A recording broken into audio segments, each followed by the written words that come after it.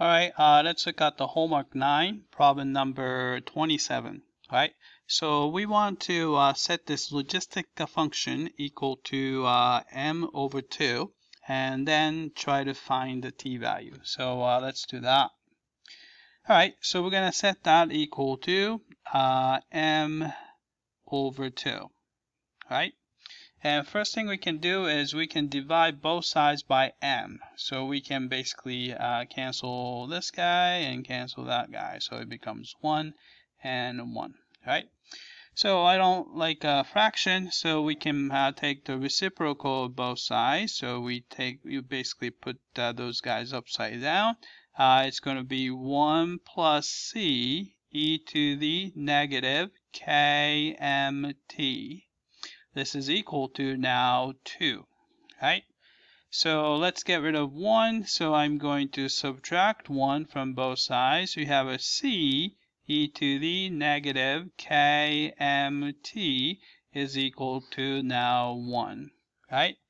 We can get rid of c. Uh, how do we do that? We can divide through by c. So you have a e to the negative kmt is equal to uh, 1 over c, right?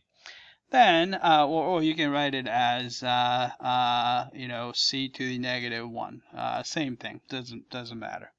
All right, now we're looking for t, so I have to get rid of e. So we can just apply natural log to both sides. So you have a natural log of e to the negative kmt is equal to a natural log of c to the negative 1. Right? And if you want, remember the property of a uh, log, uh, you can put this power right in front. So we can write it as uh, negative natural log of c. And also, uh, we know that the natural log and exponential function uh, those uh, inverses of each other. So we can uh, cancel those guys out. out. So you have uh, negative kmt is equal to negative natural log of c, right?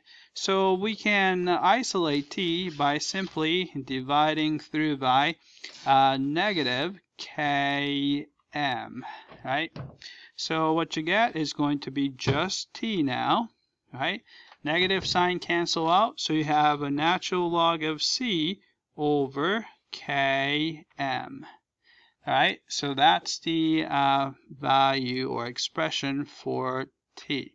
Alright, so uh, let's uh, type it in. Alright, so what we found was, actually I forgot what, what I found, uh, natural log of c over km. Alright, so let's put that in there. Alright, all right, so you have a natural log of uh, c uh, over k times m. All right, let's see if it takes the answer. All right, we got that. All right, that's it. I hope that uh, this was clear.